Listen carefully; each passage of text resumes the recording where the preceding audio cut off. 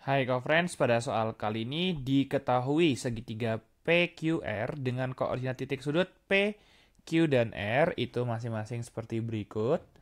Dan bayangan hasil dari titik R itu jika kita punya segitiga yang dicerminkan terhadap sumbu X, kemudian ditranslasikan yaitu oleh 4,3 pada bidang kartesius adalah berapa. Maka dari itu kakak punya pertama tentang pencerminan. Jika kakak punya misalkan suatu titik M, yaitu adalah A, B, koordinatnya, jika kakak punya di sini yaitu adalah cerminkan, atau di sini kakak tuliskan dicerminkan ya.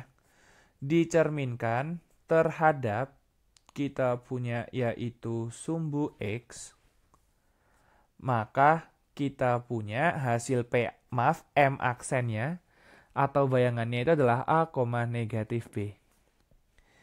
Lalu kita punya di sini yaitu kalau kakak punya M juga ya, kita punya gunakan M di sini yaitu A, B.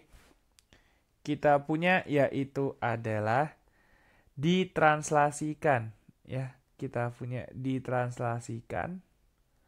Kita punya oleh yaitu misalkan adalah ST. Maka hasil M aksennya itu adalah A, maaf A tambah S, B tambah T ya. Jadi kalau kita punya titik R itu dicerminkan terhadap yaitu adalah sumbu X. Jadi kita punya yaitu adalah R aksennya di sini ya kakak punya yaitu adalah di sini berarti sesuai dengan apa yang kakak tuliskan tadi. Ini kita punya dicerminkan.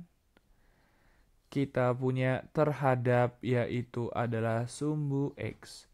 Maka R aksennya itu kita punya berarti 4, negatif 5. Yang koordinat Y-nya kita jadikan negatif.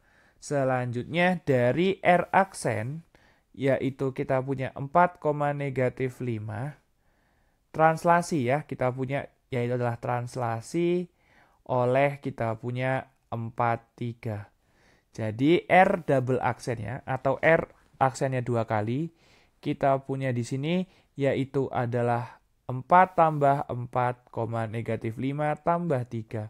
Atau sama dengan R aksennya adalah 8, negatif 2 sesuai pilihan yang C pada soal.